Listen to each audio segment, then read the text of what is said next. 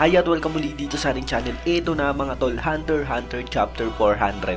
Matindi nga ang plano ni Bayonetta pero akala natin eh gagalaw nga siya pagdating pa ng Dark Continent. Pero hindi dahil 30 years ago pang araw nito pinasok ang Kakin at talagang nagkalat nga siya ng lahi. So ayun syempre, bago natin simulan, huwag kalimutang mag-subscribe at ilike ang video to bilang suporta sa ating channel. At kung gusto nyo mapanood yung mga naunang chapter, eh meron nga tayong 391 to 400 sa channel natin. So nagsimula nga ang chapter sa kwarto nila Kurapika sa room 1014 kung saan etong si Longhi na nga ang gwardya ng Pip Prince Tobepa ang siyang susunod na tuturuan ng Nen. Pero naisip nga ni Purikov kung ano ba raw ang gagawin ng gwardyang yan dahil sa alam niya nga na Nen user na ito. Magsisinungaling ba raw ito kay Kurapika o kaya naman eh sasabihin ng totoo. At maganda raw kung tanggapin na lamang nito ang kapalaran niya at patayin nga si Prinsipe Wobble. At pabor nga yun syempre sa ibang mga gwardyang pinadala dyan dahil yun nga talaga ang pakay nila. Pero eto sa pagpasok nga ni Loki sa kwarto eh hindi niya na nga raw kailangan ng divination test dahil sa marunong na nga raw talaga siyang gumamit ng nen. Pero patungkol nga ron sa mga ahas, yung silent majority yung tinutukoy niya eh hindi raw siya ang may kagawa nun. At eto nga raw yung magiging patunay niya kung bakit siya narito. At dyan niya na nga ginamit ang ability niya kung saan nakagawa nga siya ng parang papel at ballpen mula sa nen niya. At pinaliwanag niya nga na yan raw ang kanyang conditional manipulator ability. At ang pangalan nga nito ay Moonlit Decree. At nagagawa nga raw nitong bigyan o limitahan ng kapangyarihan ng sino mang piperma. Pero kailangan nga raw pumayag by their own free will ang sino mang piperma dyan. Kaya makanig nga raw ng mabuti sa kanya si Kurapika bago ito magdesisyon. Tinanong naman agad niya ni Kurapika kung ano ba ang detalye ng kontratang yan. At sagot nga ni Longhi, yun nga raw eh makipag-alay sa Pip Prince na si Tobe pero hindi nga raw alam ng prinsipe na isang araw siyang nen-user at ang kontrata nga raw na ito eh para matupad yung totoo niyang goal. Kaya mula nga dyan eh naghanda na nga si Kurapika nilabas niya nga ang kanyang dowsing chin at tinutukan nga ito ng barel. Habang sinasabi niya nga na talagang handa raw yang si Longhi nang magpunta ito dyan. Pero wala nga raw siyang oras at kung nagsisinungaling ito eh papuputukan niya. Pero sagot nga dyan ni Longhi ang threat nga raw na yan eh pagsasayang lang din ng oras. Dahil yung 22 caliber nga raw eh useless lang din sa mga non-user. Dagdag pa nito eh parte nga raw ng pagsasabi ng totoo ang kondisyon ng ability niya. At yun nga raw ang kailangan para makagawa siya ng kontrata para kay Kurapika at Pip Prince Tobepa. Pero ang true goal niya nga raw eh kailangan niyang bigyan ng mas malakas na kapangyarihan si Kurapika. Kaya makinig nga raw ito ng mabuti bago ito pumirma. Kaya tanong nga dyan ni Kurapika eh ano ba raw talaga ang goal na yon at ano ba raw ang problema. Sabi nga ni Longhi dyan eh hindi niya raw alam kung paano magsisimula. Kaya siguro raw eh dapat niyang i-explain muna ang original plan at mauunawaan nga raw ang lahat matapos yon. At nagsimula nga siya sa pagsasabi na siya raw eh biological daughter ni Beyond Netero. At talagang biglang-bigla naman dyan sa mga sinabi niya si Bill Sigurapik at parang nagugulahan naman si Queen O ito. Pero dagdag niya pa nga eh hindi nga lang daw siya yung nag-i-exist na kagaya niya. Ibig sabihin nga mga tol eh hindi nga lang siya yung anak ni Beyond Netero. Dahil 30 years ago pa nga raw nung pinasok ni Beyond Netero ang Kakin Empire at nagpakasal nga raw ito sa mga high-ranking na sundalo. At yung mga bata nga raw na yun ang pinalaki ng naging asawa ni Beyond eh sasali nga sa Royal Military School. Nangyayari nga raw yun tuwing may isisilang na prinsipe kaya ang plano nga raw ni Beyond eh maging royal guard sila ng mga prinsipe. Pinanganak nga raw silang na-awaken ang nin kaya madali lamang silang nakakapasa sa military exam. At nalaman nga lang daw ni Longhi yung totoong origin niya nung wala man lang daw siyang napansin na naman ng traits dun sa tatay na nag-ampun sa kanya. Kaya maaring ang mapalapit nga raw sa hari eh siyang totoong balak ni Beyond Netero. Pero nung ma-realize niya nga raw ito eh siguradong nasa parehong posisyon na yung iba pang mga anak ni Beyond Netero. Meaning mga tol eh talagang maraming ang anak si Beyond Netero nakasali nga dyan sa Royal Army ng Kakin Empire. At isa nga lang dun syempre etong si Longhi. Tinanong nga ni Kurapika kung yun ba raw talaga ang original plan. Sumagot nga si Longhing oo at yun nga raw ang narinig niya kay Beyond at sa nag-ampong tatay sa kanya. Dagdag pa nito eh hindi niya nga raw alam kung sino yung mga kapatid niya at hindi na nga raw importante yun kahit pamalaman niya. Inilipat na nga raw siya ng dormitory bago pa siya magkaroon ng malalim na relasyon sa mga magulang niya. Kaya dahil dun siguradong yung speech nga raw ni Beyond eh parte lamang ng pagbe-brainwash ng government para marating lang yung sinasabing unified under Kakin. Pero hindi nga raw sila parte nun at sila raw eh mga discarded pieces lamang. Gaya nga raw ng sabi niya eh na-awaken na yung nen nila pagkasilang pa lamang at na-develop na nga raw sa kanila yung Ten at Setsu para maprotektahan yung sarili nila. At salamat nga raw dun dahil talagang mataas yung mga physical assignments niya sa academy. Pero ang lahat nga raw na yun eh side effect lamang ng nen attack ni Beyond Netero. At napatanong nga si Kurapika kung ano ba ang ataking rin yon. At sinabi nga ni Longhi na si Beyond Netero daw eh naglagay ng sumpa sa kanila. Yung half-sister niya nga raw na si Mahaka ang unang nagkaroon matapos nitong mag-drop out. At talagang ibang araw ang acting ng magulang nito matapos malamang nag-drop out siya. Buti na nga lang daw at pinayagan pa ni Prince Camila na makasali sa Royal Army ang mga nagdi-discriminate. At nakilala nga rin daw siya ni Mahaka dahil nandun din siya sa squad ni Prince Camila. At silang araw magkakapatid na anak ni Beyond Netero eh merong marka ng seal. Bawat isang araw sa kanila eh talagang sinumpa na merong nakakatakot na nin na ma-activate nga lang daw matapos silang mamatay. At mula nga dyan eh sinabihan niyang gumamit ng Diyos sila Kurapika at tingnan nga raw ito. At sa pagbuka nga ng bibig niya sa pagtaas niya ng dila niya eh nandyan nga ang sinasabing seal. At sinasabing isang araw yung appetizing sacrifice. At sa madaling salita pinanganak nga raw sila para patayin ng isang target. Naisip niya nga raw at ni Mahaka na maaaring meron pang sampung mga appetizing sacrifice pero maaaring mas marami pang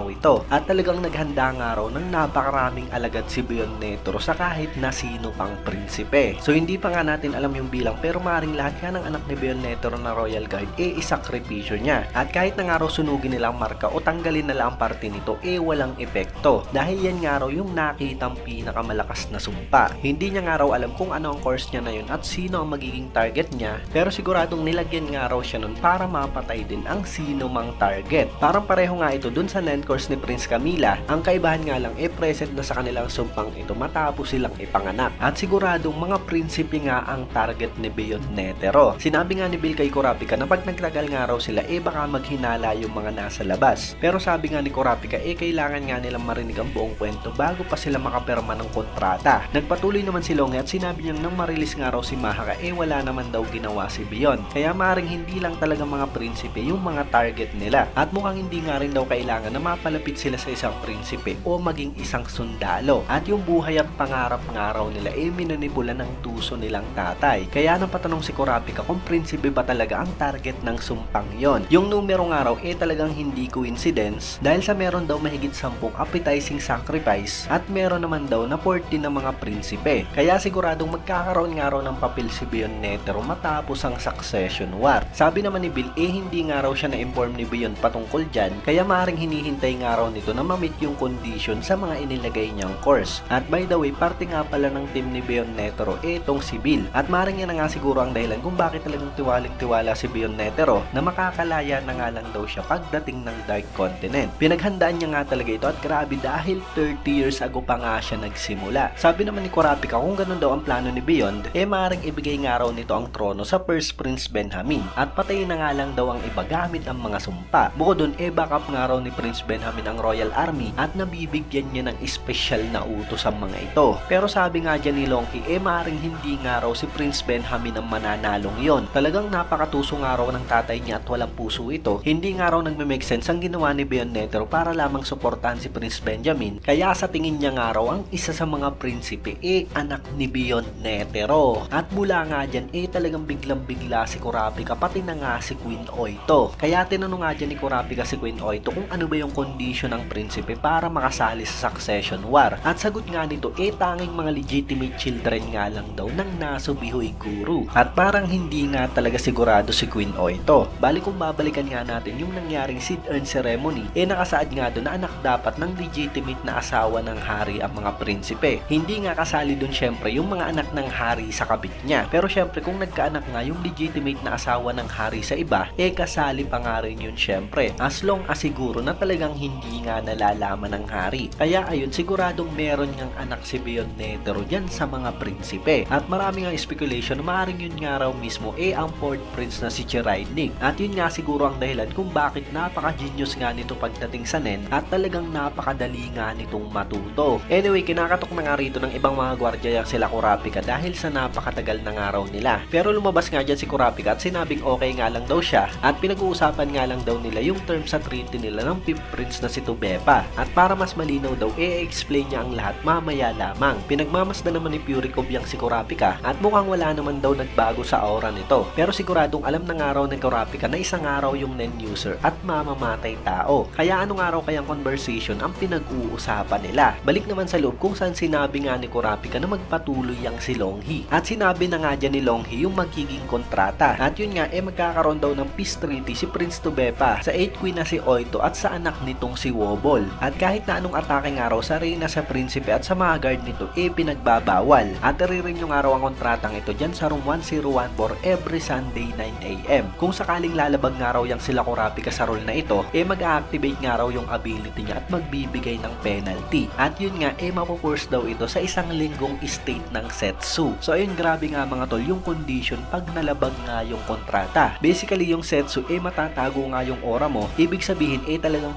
napakadelikado at hindi mo nga mapapagtanggol yung sarili mo. Siyempre, naisip na nga dyan ni Kurapika na mahirap at talagang napakadelikado nga raw nun. At tinanong niya nga rin, paano naman daw yung mga healing ability niya? Consider ba raw yun bilang atake? Sagot naman ni Longhi, eh as long as daw na hindi ito magpapahamak sa kanila at hindi mapipigilan ang objective nila, eh hindi mag-a-activate yung ability niya. Hindi nga rin daw mababago ni Prince Tobepa ang kontratang ito at hindi niya nga rin daw ma-activate ang ability ito ng siya lamang. Kailangan nga raw nilang mahanap ang anak ni Bayonetero sa mga prinsipe bago nga mamatay si Prince Tobepa o di kaya naman eh dalawa na lamang yung natitirang prinsipe sa Succession War. At kung maabot daw ang kriteryang yun, ang magiging Buniko Rapika eh ang magamit ng isang beses ang ability niya ni Longhi. Naisip naman ni Kurapika na hindi na nga raw masamang deal ito, depende na nga lang daw sa target at sa magiging specific condition. Hindi nga rin daw gumagalaw ang kadena niya kaya nagsasabi raw ito ng totoo. Pero mula nga dyan, sinabi ni Longhi na bago nga raw pumirmayang si Kurapika, eh sasabihin niya nga raw yung totoong intention niya. At yun nga, eh kung mako-confirm nga raw nila ang totoong anak ni Bayonetoro sa mga prinsipe, eh gusto nga raw ni Longhi na siya mismo ang tumapo sa buhay nito. Kung sakali lang daw na kinausap siya ng tatay niya at sinabi ang intention sa kanya, eh talagang hindi nga raw siya darating sa ganyang desisyon. At talagang hindi nga gumagalaw ang kadena ni Kurapika kaya nagsasabi nga ito ng totoo. At mula nga dyan, eh lumabas na nga sila ng kwarto. Obviously, eh siguradong pumirma nga si Kurapika sa kontrata netong si Longhi. Maganda nga condition ito kung sakaling matutupad nga nila lahat ng criteria dahil sa magagamit nga rin ni Kurapika ang ability yon. At yun dito nga sa paglabas nila, eh talagang pinagmamasdan ni Purikov yang si Long. Halos wala nga raw nagbago sa aura nito at parang wala raw naging laban kaya mukhang nagkaroon nga raw talaga ng negotiation. Pero kahit na nga walang luha dyan si Longhi, eh napansin niya nga na umiiyak daw ito. Sa mga hindi nga nakakaalam mga tol, etong si Purikov eh nakakabasa nga ng NEN. Magaling nga siya mag-obserba kaya siguro eh nakikita niyang umiiyak ang aura niyang si Longhi. Tinignan nga rin ni Purikov si Kurapika, wala nga raw talaga itong senyalis na inatake ni Longhi. Kaya maaring long range condition daw ang nangyari na merong multiple condition para ma-activate. Pero talagang naguguluhan nga siya kung bakit umiyak si Longhi dahil sa ginawang kontrata. At talagang napaka-imposible nga raw basahin ng mga yan. Nagsorry nga rin si Kurapika dahil sa matagal daw naghintay ang mga ito dahil sa nag-discuss pa nga raw sila ng treaty. Open nga raw sila sa idea pero hindi pa raw sila nagsisettle ng terms. At hindi nga rin daw sila pwedeng magbigay ng impormasyon sa treaty na yun sa ibang tao. Hindi naman naniniwala si Purikov, hindi nga siya mapalagay at siguro raw eh talagang gustong ma-maintain ni Kurapika ang magandang relasyon nito sa third prince at fifth prince. At mula nga dyan eh nagpapasok na ng sunod na tuturuan ng nenyang sila Kurapika. At yun nga eh si Tenturi. At naisip naman ni Puricom na maaaring malaman daw ng third prince ang detalye ng treaty dahil si Tenturi nga eh gwardiya ng third prince na si Sangley. Dagdag pa ni Puricom eh talagang safe daw si Prince Wabble habang yung Nen Awakening eh nangyayari sa loob. Kaya parang wala raw punto na akusahan niyang sila Kurapika ng conspiracy. Napansin niya naman si Baboy Mai na parang may iniisip nga ito at tinanong niya nga kung ano ba ang problema. Pero sumagot nga lang ito na wala nga raw. So ano nga kaya ang iniisip nitong si Baboy Mai na baka nga isa siya dun sa mga royal guards na anak ni Beyond Netero. At mula nga dyan, ikat na nga rito kay Beyond Netero mismo. Nakakulong pa nga rin siya dyan at talagang kakaiba nga ang itsura niya dahil sa nakalugay lang yung buhok niya. Nagtanong nga siya kay Kansai kung meron pa ba raw itong ibang libro pero sagot nga ng Sojak eh wala raw kaya basahin na nga lang daw uli yan ni Beyond. Nagtanong nga rin si Beyond kung meron ba raw itong papel at ballpen pero sagot nga ng Sojak eh hindi niya nga raw pwedeng bigyan ito ng kahit na ano para sa safety nila. Meron naman daw balbas at duguyang si Beyond Netero. Sabi naman ni Beyond Netero eh ano ba raw safety purpose? Dahil kung gugustuhin niya raw eh kaya niyang mabasag ang bungo niyang si Kansai gamit lamang ang librong yan. Parang pabiro namang sinabi ni Kansai na natatakot na nga raw siya. At tinanong niya nga si Beyond kung meron pa ba raw ibang request ito at sabihin nga lang daw. Nagustuhan naman ni Beyond ang sinabi ng Sojak, meron nga raw siyang gustong kausapin at pwede ba raw nadalhin ng mga ito sa kanya. At yun na nga mga tol, mukhang sisimula na nga talaga ni Beyond Netero ang plano niya. Sino nga kaya ang mga gusto niyang makausap? Mataas nga ang posibilidad na yun nga mismo eh ang mga sinasabing anak niya. At kung ganun eh maaaring makilala na nga natin ang mga ito sa mga susunod na chapter. So grabe nga talaga itong si Beyond mga tol, hindi natin akalain akalain na makikialam nga siya rito sa Succession War dahil ang alam nga natin eh ang pakay niya eh ang Dark Continent at pagdating nga lang daw dun saka siya makakalaya. Napaka-genius niya nga rin para gawin ang ganitong klaseng plano. 30 years ago pa nga niya sinumulan at siguradong may kinalaman nga ito sa gagawin niyang expedition sa Dark Continent. So ayun mga tol, let me know na lamang sa comment section below kung ano bang reaction niyo sa chapter na to. Finally, eh nagbabalik nga talaga ang Hunter Hunter at hindi nga lang 10 chapter yung marirelease sa atin. Kaya ayun, kung nagustuhan mo nga ang video to, huwag mo sana kalimutan mag-iwan ng like dahil napakalaking tulong na yan para sa ating channel. At yun, maraming maraming salamat sa inyong panunod at mag-iingat kayo palagi. Bagang!